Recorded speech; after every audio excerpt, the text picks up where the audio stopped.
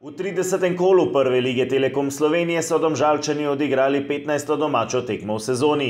Ob kamniški bistrici je gostoval Ankaran Hrvatini, ki je zasedal deveto mesto in je v domžale prišel s popotnico štirih tekem brez poraza. Na drugi strani so rumeni v celju doživeli prvi poraz po 14 tekmah, hkrati pa so imeli številne težave s poškodbami in kaznimi. Manjkali so Senjat Ibričič, Matija Širok, Zeni Husmani, Aydin Mulalič in Amedej Vetrih. Na mesto njih so mesto v udarni enajsterici zasedli kapetan Dejan Milič, Nermin Hodžič, 21-letni Žan Žužek, 19-letni Matija Rom in 18-letni Adam Gnezda Čerin. Trener Simon Rožma se je odločil še za eno spremembo, pred Šamarjem Nikolsonom je prednost dobil Petar Franič. Dvakratni prvaki so odločno krenili v tekmo in že v tretji minuti so prišli do prvega strela. Poizkus gnezde Čerina so gosti uspešno blokirali. Naslednji kot domačih je izvedel prav gnezda Čerin. Najprej je odigral dvojno podajo s Franičem, potem pa še z Agimom Ibrahimijem. Podal je pred vrata, kjer so Ankarančani odbili do Darija Melnjaka, ki je močno sprožil z voleja. Vodstvo rumenih je preprečil kapetan Galebov Jan Pahor. V 16. minuti je akcijo začel Ibrahimi, zaposlil je Hodžiča, ki je žogo zavrnil do gnezde Čerina. 18-letni Idričan je sprožil, vendar se je z odlično obrambo izkazal vratar Primoš Bužan. Vsega dve minuti pozneje je Ibrahimi na levi strani našel Franiča. Hrvat je poslal predložek na drugo vratnico, kjer je akcijo nenatančno zaključil Lauro Bizjak.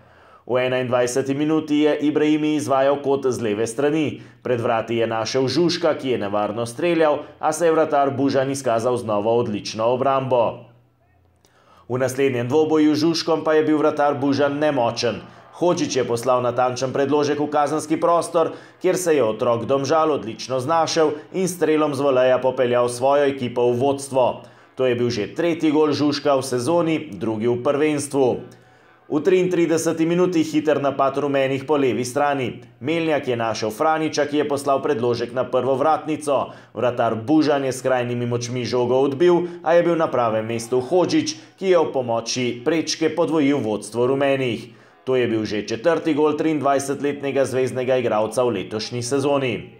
Domžalčani niso popuščali in vsega pet minut pozneje je Ibrahim z odličnim predložkom našel Melnjaka, ki je na drugi vratnici meril previsoko. V zaključku prvega polčasa so do svojih priložnosti prišli tudi primorci. Poizkus Delgada in rezervista do Santosa je uspešno odbil izkušeni vratar Milič. V 42 minuti je po levi strani pobegnil Melnjak, v kazanskem prostoru je našel Hođiča, ki je streljal z prve, a bil nenatančen. Na drugi strani sta pred odmorom poizkušala Vedran Gerc in Dos Santos, a je bil znova na mestu odlični Milič in prvi polčas se je končal zanesljivim vodstvom domžal z dve proti nič. Drugi del igre so podjetneje začeli domžalčani. Poizkušala sta Ibrahim iz razdalje in Bizjak iz bližine, a sta bila premalo natančna. V 55. in 58. minuti smo videli dva atraktivna poizkusa z voleja. Hrvata Melnjak in Franic sta nevarno sprožila, a sta merila za las previsoko. Po uri igre je imel lepo priložnost še Ibrahimi, a je preveč okleval strelom. V 64 minuti so lepo akcijo izpaljali Ibrahimi, Andraš Kiram in Gnezda Čerin. Slednji je prišel do strela, se je z obrambo izkazal Bužan.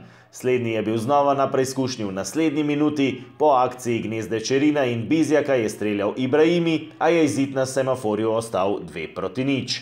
Goste so si prvo priložnost v drugem polčasu preigrali šele v 77 minuti, nevaren poizkus Čazima Suliča je z odlično obrambo zaustavil Milič. V 81 minuti je poškodovanega Kirma, ki je bil na igrišču vsega 19 minut, zamenjal Nikolson. Jamajčan se je za zaupanje odolžil že dve minuti pozneje. V akciji rezervistov se je Marko Alvir izkazal z izjemnim prodorom, ki ga je zaključil z natančno podajo pred vrata. Tam je bil najvišji visokorasli Nikolson, ki je strelom z glavo dosegel še tretji gol na devetih tekmah, ki jih je odigral v letošnji sezoni.